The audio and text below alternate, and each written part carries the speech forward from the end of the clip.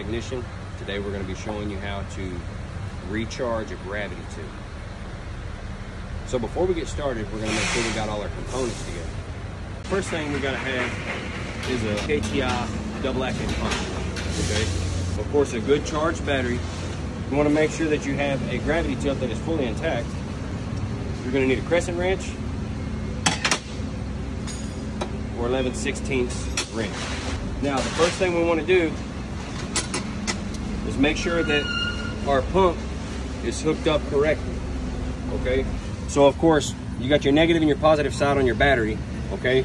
Then on your pump, you have a ground post and a positive post. Okay? The positive post is always the opposite one of your red cap on your KTI double acting pump. If your battery's not charged, you will burn up the solenoid. If your connections aren't tightened correctly, it will also burn up your solenoid. You have your positive wire, goes here on your pump. Your negative wire goes on your ground post on your pump.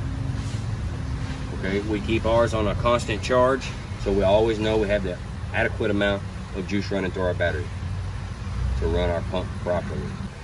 We need to make sure that our gravity pump is fully intact. The first step of this process is to remove your caps. Because if you're having to recharge your gravity jump system, that means there's air somewhere in your system. Okay.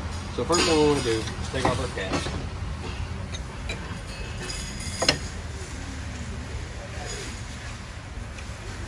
Okay, now we have our caps off. We're gonna walk down here and turn our ball valve on. Now, I have my hoses marked on your pump. There is an A, an A side, and a B side. Your A side will always be closest to your solenoid. Okay, your A is up, B is down. Now, on my system, I already know which one my A is, I already know which one my B is, okay? Like I told you before, I already have mine marked. So I'm gonna put my A line, okay, on the A port of the cylinder, which is at the rear. Okay, now we wanna make sure that we put all of our fittings and everything on snug. We cannot allow any air into the system whatsoever. Okay, so we want to make sure to snug it, not over snug it. It's got to be just snug. So now we're gonna place our our B hose into our B port of our cylinder. B is always at the front, A is always at the back. 3,200 pounds pressure, 1,500 pounds pressure. Okay. So now, it is very important that we do not, when we're putting on recharge hoses from our pump, to make sure not to move our fittings.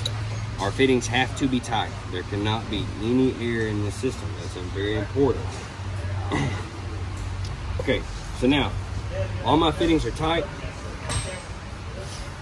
I'm gonna move down here. I'm gonna make sure these are tight.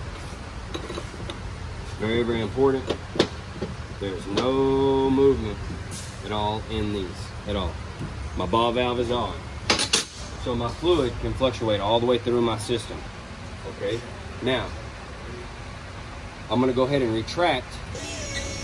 And when you first start moving your system, if there's a whole lot of air in it, it will push the air back into your reservoir. So you're gonna hear noise in that reservoir as you're recharging your system. We're gonna take both cylinders all the way extracted at least two or three times. And that just makes sure that we have all our air out of our system. Now at the same time doing this, it's always good to have a flashlight so you can be inspecting your cylinders as you're doing this to make sure it's not one of your seals that are leaking. It's easier to find a leak when you have the proper lighting. And you're gonna hear it kick on to this. And what that is, there's overrides into these pumps that cuts off our pressure.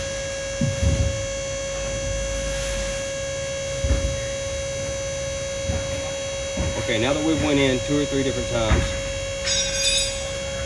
and extracted, extracted, retracted, several different times to make sure all our air is out of our pump, we're gonna come down here, we're gonna turn our ball valve off. Okay, now we've done, got all the air out of our system. Okay, now we're gonna turn our B cylinder up. Now, when I hit the up button, only the A side of our system is going to move.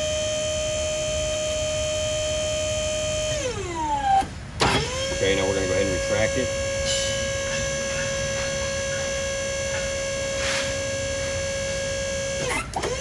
We're gonna go back out with it.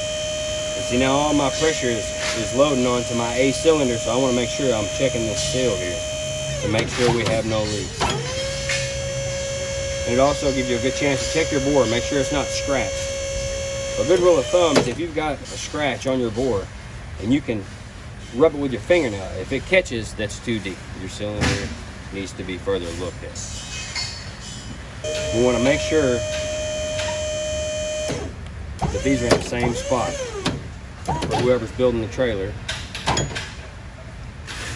Okay, now as I get it fully out, you see that my B side over here starts to move, okay? Because it's at the max pressure it can have. Now, I'm gonna ease off on some of that pressure, okay? That makes it safer for me when I take my hoses off of my ports. Now I'm gonna take my wrench. I'm gonna find a towel. It's always safer when you have a towel. Okay, now, before I take off anything, I wanna make sure that I cover it up fully. So, now, I'm gonna go and apply my wrench to my fitting. Okay, and I'm gonna hold my fittings to make sure they don't move when I take this off. Okay, now also you want to make sure that that fitting is covered up because it has got pressure on it. It's very important. It has pressure in this line, and quite a bit of it. So you want to make sure you got this fitting covered or it's going to be a mess. I'm going to crack it a little bit, okay? Then I'm going to move it a little bit with my fingers right? And then I can move this hose back and forth and it allows the pressure to come off of it. Now, I've done release my pressure off of it, so it's safe for me to remove my hose. Now, it's very important, once I take this hose off, I immediately put on the cap. We do not want any air in this system. It's very important not to let any air get into your system. Now, to make sure I had no air in my system or that I didn't lose any more fluid than I had to, I went ahead and put my finger over. Okay, now when I move my finger, I put my cap straight on. Now, I want to make sure that I snug this fitting. Now, I'm gonna go ahead and use my crescent to make sure that I hold my fitting to where it cannot move. Now I can grab my cap and put it on without moving. Now, my fitting never moved, my cap is on tight. I lost no pressure. It is also very important to make sure that when you get done working on an area that you clean all the fluid off. That way, if you do spring a leak, you know where it's at. Now it's time to do our A side. We got our B side done. Now we're gonna do our A side. I'm holding my fitting. I'm gonna loosen this just a little bit. I'm gonna grab my towel, okay? Because if you are bypassing somewhere, this will have fluid too, pressure. Now, once again, I'm gonna apply my finger over the hole while I grab my other cap. Now apply my cap to where we don't lose no fluid and suck no air. Now, before I tighten it up, I'm going to apply my crescent wrench to make sure my fitting does not move. It is very important. You'll notice the lock is still closed. At no point until you put this on the trailer do you want to open this lock. We hope that you benefit from this video.